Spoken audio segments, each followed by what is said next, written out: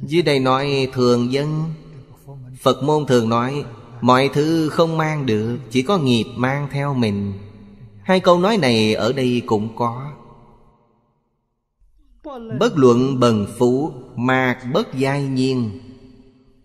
Trong mỗi người ưu khổ vô tận, Nên gọi là dạng đoạn.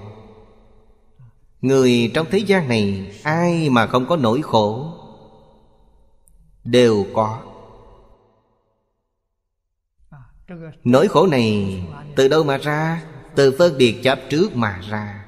Quý vị có chấp trước thì quý vị có nỗi khổ. Quý vị không có chấp trước thì không có nỗi khổ.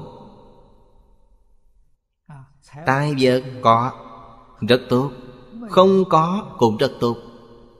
Cố gắng không để nó trong tâm. Để trong tâm thì quý vị sẽ khổ.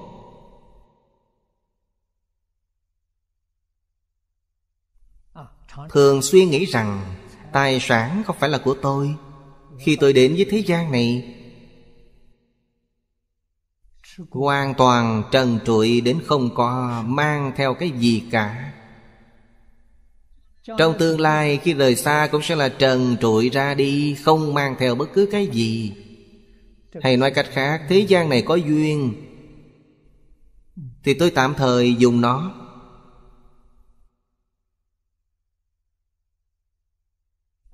Phải biết rằng Đều là thứ tôi mượn dùng tạm một chút. Quyết định không có ý niệm, Đây là của tôi. Vậy là sai rồi. Quý vị sẽ có gánh nặng, Quý vị sẽ có mệt mỏi, Có âu lo, Có dưỡng mặt Hàng đống phiền phức sẽ đến với quý vị. Giống như chúng ta ở khách sạn, Không có phiền phức. Vì sao vậy? Rất rõ ràng cái phòng mà tôi ở đó không phải của tôi. Ngày mai tôi đi rồi Đi rồi cũng không phải dướng mắt gì nó. Quý vị dùng tâm thái này, Sống trong thế gian thì sẽ vui vẻ.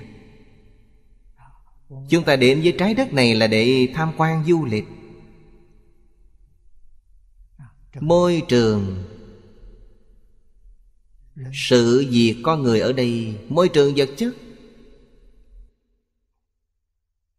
Đều không liên quan chút nào đến tôi. Tôi có thể thưởng thức, có thể vui đùa. Tuyệt đối không có ý niệm nó là của mình. Hoàn toàn không có ý nghĩa này. Không có ý niệm không chế, không có ý niệm chiếm hữu, thì sẽ tự tại thôi. Có hai ý niệm này gọi là tạo nghiệp. Nếu hai ý niệm này đều không Thì gọi là tịnh nghiệp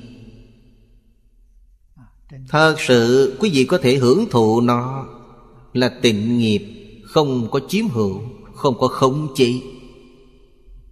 Thái độ này rất tốt